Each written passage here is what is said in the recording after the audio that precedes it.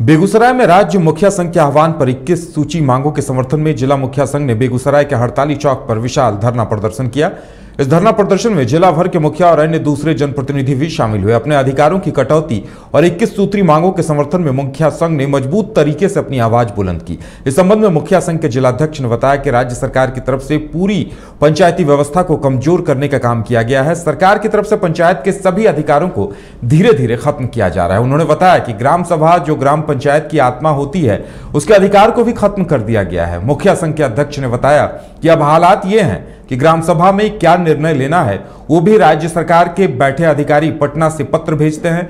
अधिकारी ये कहते हैं कि आम सभा में इन बिंदुओं को लेना है। संघ के अध्यक्ष ने कहा कि हर पंचायत की बुनियादी सुविधाएँ अलग अलग हैं।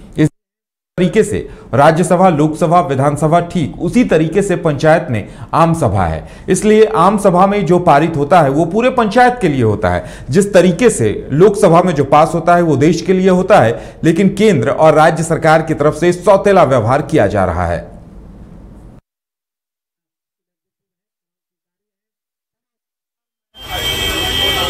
पंचायती राज व्यवस्था को सरकार के द्वारा लगातार कमज़ोर किया जा रहा है। पंचायत के सारे अधिकारों को धीरे धीरे समाप्त किया जा रहा है। ग्राम सभा, जो ग्राम पंचायत की आत्मा होती है, उसके अधिकार को भी समाप्त कर दिया गया अब स्थिति यह है कि ग्राम सभा में क्या निर्णय लेना है, ये भी सरकार में बैठे हुए अधिकारी पटना से पत्र भेजते हैं कि अमुक विधान आम सभा में इन इन बिंदुओं को लेना है।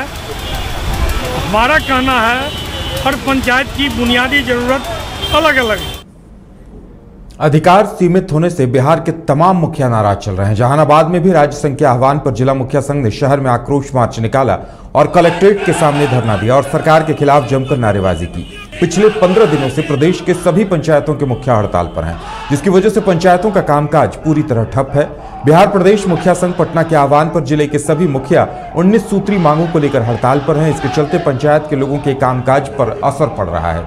मुखिया संघ की हड़ताल से मृत्यु प्रमाण पत्र के साथ साथ आवास योजना बनाने में परेशानियों का सामना करना पड़ रहा है वहीं मुंगेर में भी बिहार प्रदेश मुखिया महासंघ के आह्वान पर ग्राम पंचायतों के अधिकारों में कटौती के खिलाफ मुखिया संघ ने धरना प्रदर्शन किया।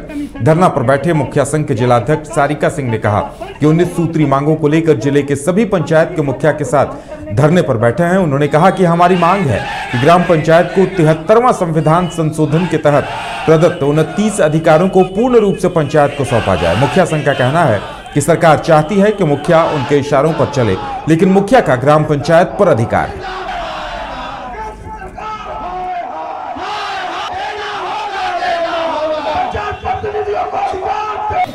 लेकिन साथियों, इसके लिए आप और हमको खड़ा होना बात नहीं है।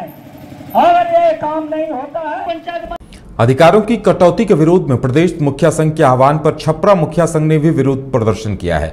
सैकड़ों की संख्या में अपनी आवाज़ बुलंद करते हुए मुखिया ने नगर पालिका चौक पर धरना देकर सरकार से अपने अधिकारों की मांग की।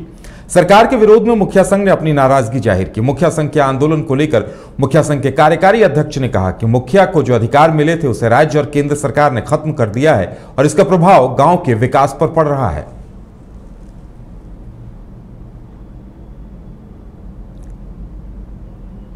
पूरे प्रदेश में उन्नीस सूत्री जो जनता की लड़ाई है, जनता की मांग है, और मुखिया जिसको दिन रात झेलता है, और मुखिया प्रताड़ित होता है, आम जनता के सवालों को लेकर के, समस्याओं को लेकर के तो हम लोगों की जो मांग है, उन्नीस सूत्री मांग है। उसमें मुख्य मांग जो है हम लोगों का, कि पंचायतों को जो भारतीय संविधान के अनुच्छेद दो सौ पैंतालीस के अंतर्गत जो उनतीस विभाग सौंपे गए हैं, वह ग्राम पंचायत को दिया जाए। ग्राम सभा के अस्तित्व को, जो गांधी जी का सपना था। ग्राम सभा में आम जनता, जो सीधा ग्राम सभा में लोकतंत्र का जीवंत सबूत है, जो सवाल करती है, जो समस्या बताती है, उसका ही क्रियान्वयन हो। हम लोग चाह रहे हैं कि मनरेगा को सरकार पिछले के तरह जो चल रहा था, उस टाइप से चलने दे और मजदूरी में वृद्धि करे। आज दो सौ अठारह रुपया मजदूरी है, अट्ठाईस रुपया है, उससे क्या होने वाला है?